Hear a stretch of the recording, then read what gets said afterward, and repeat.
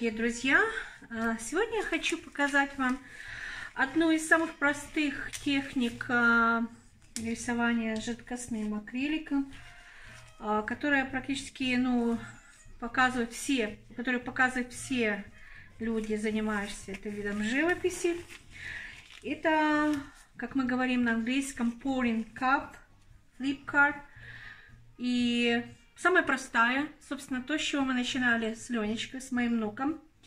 И я на этот раз использовала практически а, растворитель DecoArt, компания DecoArt и их же краски DecoArt, потому что, в принципе, компании создают краски в соответствии с своими растворителями, и если смешивать с другими, мы можем получить другой эффект. Но я никогда не использовала этот э, растворитель, ну, как бы соло. Я попробовала ее использовать, но что-то мне не понравилось. И вот я решила попробовать именно с красками этой компании и посмотреть, как они будут реагировать с этим растворителем.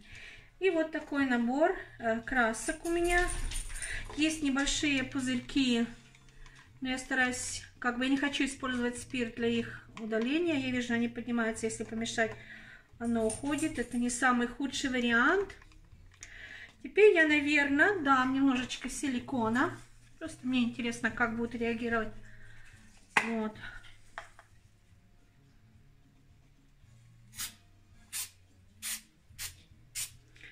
Мне просто интересно. Эксперимент, как говорится. И начнем формировать нашу кружечку. А, краски по консистенции, они ну, как бы, скажем, жидкая сметана, но не совсем жидкие. Чем больше растекаются краски, а, тем, в принципе, можете получить меньше контрастности. И, не знаю, я хочу попробовать в таком вот варианте. Вот. Теперь я буду формировать свою чашечку. Я, наверное, начну немножко с белой краски. Вот. Оставим наверх. Пока что я так оставлю. Я вижу, что гуснет довольно быстро. Гуснет довольно быстро. Но ничего не поделаешь. А, к каждому растворителю привыкаешь. Оставляю немножко всегда, чтобы подправить.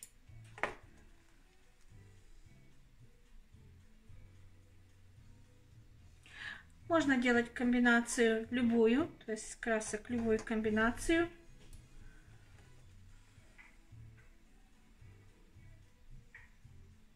Эта краска чуть гуще получилась.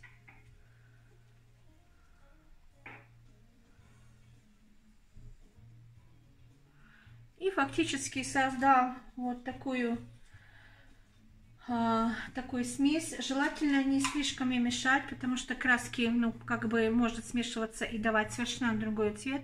Поэтому рекомендуется, в общем, очень осторожно. Некоторые вообще не рекомендуют мешать. И, собственно говоря, вот механизм какой. Вы берете полотно, вы прикладываете и переворачиваете. Даете немножко постоять. Вот, не спешите резко забирать. Вот. Можно варить по краю, чтобы была лучше растекаемость. Так, ну, теперь я, наверное, это заберу эти, чтобы не мешало нам.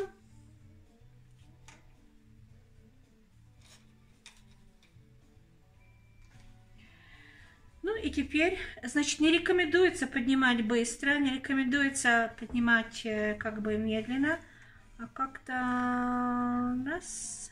И вот смотрите, какой у нас эффект сразу. Видите? То есть такой у нас эффект, что неплохо. То есть очень интересный эффект, я бы сказала, хорошие краски. И вот начинаем работать с углами.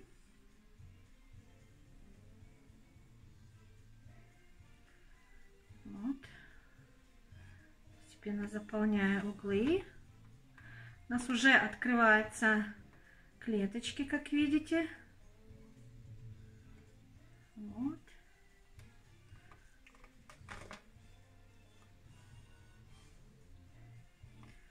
Вот, сюда, сюда, сюда. Теперь сюда.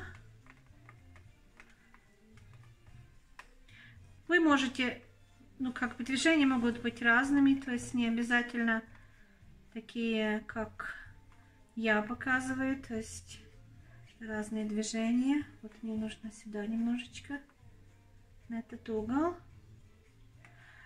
Краски хорошо растекаются. Вот если даже что-то тут не получается, можно немножко подправить. И вот здесь мы закроем этот белый угол тоже, нам он не нужен. Вот. И теперь мы немножечко поиграемся, чтобы вернуть синий. Вот. Практически тут у нас немножечко белое. Вот практически какой интересный результат. Это еще не конец. Что мы можем сделать? Сейчас я вытру руки. Мы можем немножечко подогреть, попробовать открыть. Видите, сразу открывается, сразу открывается мелкие. Вот видите, здесь.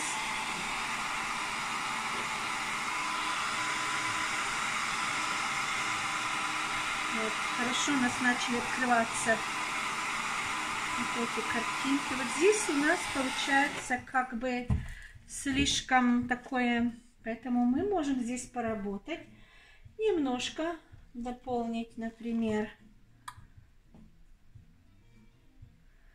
И, значит, можем дополнить немножко вот тут.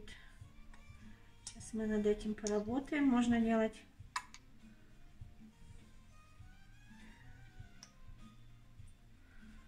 Вот, я поэтому хочу взять, попробовать соломинку. Или просто... Сейчас мы попробуем горячий немножечко.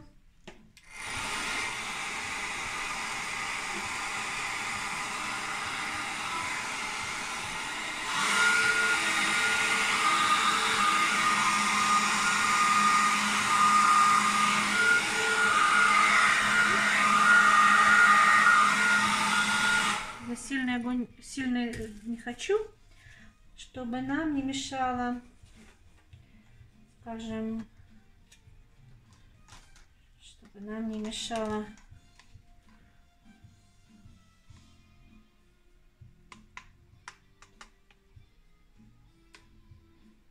песня немножечко не нравится. Мы поработаем здесь немножечко. Потому что эта сторона получилась неплохо. Эта сторона получилась чуть хуже. Но, в принципе, мы еще можем поработать немножко. Сейчас еще немножечко доработаем с тем углом.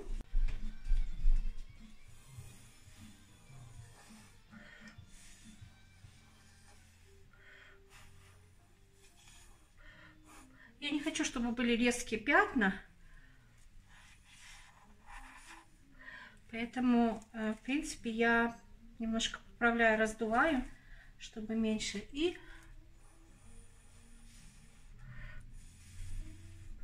стараюсь открыть. Здесь очень мало у нас получилось краски. В принципе, мы можем подправить. А, мы можем подправить немножечко. Пока оно еще не засохло, мы можем немножечко расправить наши клеточки.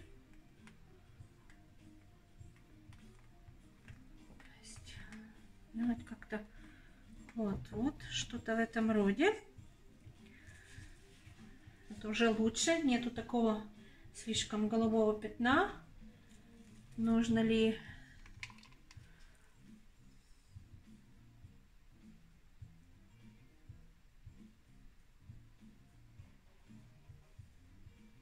даем немножко такие вот пятна, в принципе. Эта часть очень красивая. Эта часть очень красивая. Вот смотрите, видите? И, в принципе, получилось, я считаю, неплохо. То есть получилось у нас неплохо.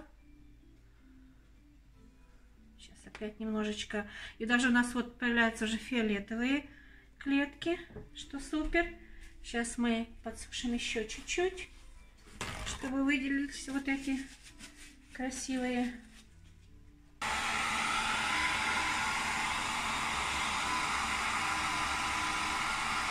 Можно использовать точно вот сразу, когда нагревание приводит к тому, что э, силикон позволяет нагреться и приподнять вот эти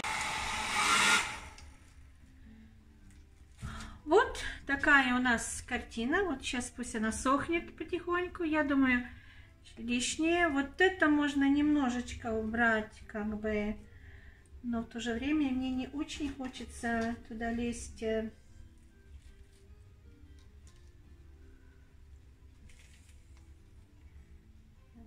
Смесь, что у нас образовалась. Может так вот. Еще вот это у нас смесь есть чуть-чуть. Можно ее по краям дать. Вот. Даже вот тут можно это смесь дать. Вот смотрите, какая красивая у нас кружечка получилась. Да. Самое интересное, что я хочу вам сказать, вот я забыла вам показать. Сейчас немножечко мы вот это поправим.